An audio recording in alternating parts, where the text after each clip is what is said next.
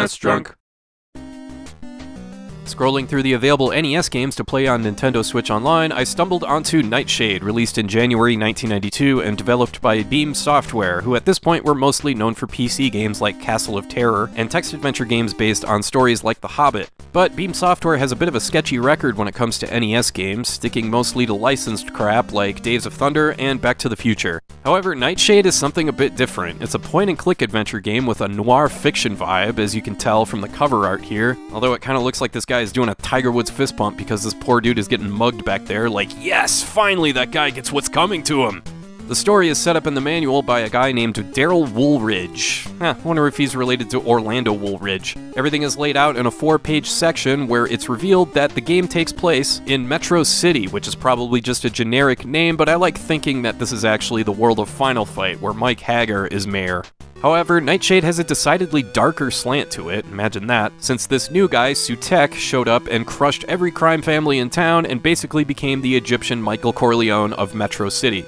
The game speaks of a superhero named Vortex who tried to stop him and was killed for his trouble. So, since Metro City's costumed superhero struck out, instead it's up to global encyclopedia researcher Mark Gray to make things right. No, really, that's the protagonist, a guy that works for a publishing company. At night, he goes after bad guys and dons a hat, trench coat, and sunglasses. What is he, Corey Hart? No, not that Corey Hart.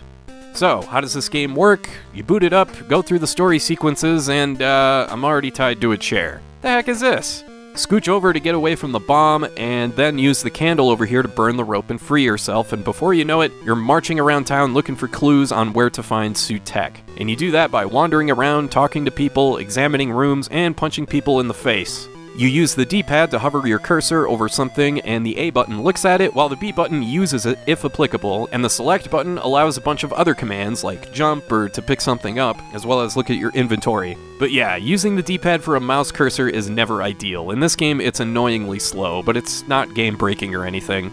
There is plenty of combat here. When you come across an enemy like this guy who's totally wailing on an old lady, you just walk up to him and the game switches to a single screen beat 'em up where you just punch the guy in his giant face. Hmm, I didn't know Robert Z'Dar was ever in an NES game. The controls here are, uh, not the greatest. Everything moves really fast and it's really easy to die in just a couple seconds. You can punch and kick, but your best bet is usually to jump over the enemy and punch them like this. It's not great, and the boss fights in this one can be pretty brutal. The two meters you see on screen show your health and your popularity in town, and you'll want to keep that high because it'll be easier to get information from people. But if you screw around too much and ignore the townspeople, then you'll miss out on clues and you won't be able to progress in the game. You increase your popularity by doing good deeds, like rescuing people from this burning building, for example.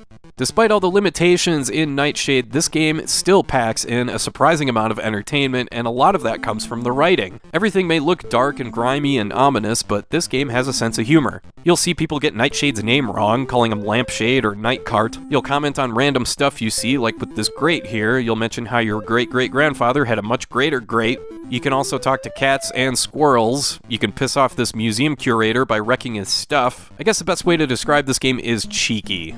There's over 100 screens to search in this game, and almost every one of them has something interesting or amusing. What's really cool about this game is that you can explore and find stuff in any order. It's not just a linear path, but eventually you'll want to find five scarabs scattered throughout the town, and you use them to locate Sutekh. I gotta mention the strange way this game lets you continue after you die. Apparently, Beam Software were told by publisher Ultra Games that they weren't going to have a battery save, so instead of having a password system that's 10 miles long, the game gives you a chance to continue right then and there. You're given 5 lives, or really 5 traps you have to escape. The first one has you strapped to a conveyor belt where your head is going to be crushed, but if you time it right, you can use your foot to flip this switch here and you're back on your way. If you can't escape, it's game over and you have to start over. This is a really clever way to get around those limitations. I'm not sure I can remember another game with a continue system like this. So yeah, Nightshade is a weird game, but I think it's well worth checking out today. It's the only game like this on the NES that isn't a PC port, and yeah, the user interface isn't the greatest, but I mean, it's an NES game. For a console that only has a 4-button controller, this is as good as you could possibly do. I think the strengths outweigh the weaknesses here. The vibe of this game is unlike any other on the NES, and it's actually got some pretty funny lines scattered throughout. It only takes a couple hours to complete this one, and I recommend you check it out. It's a good time. And that's all for now, and I want to thank you for watching, and I hope you have a great rest of your day.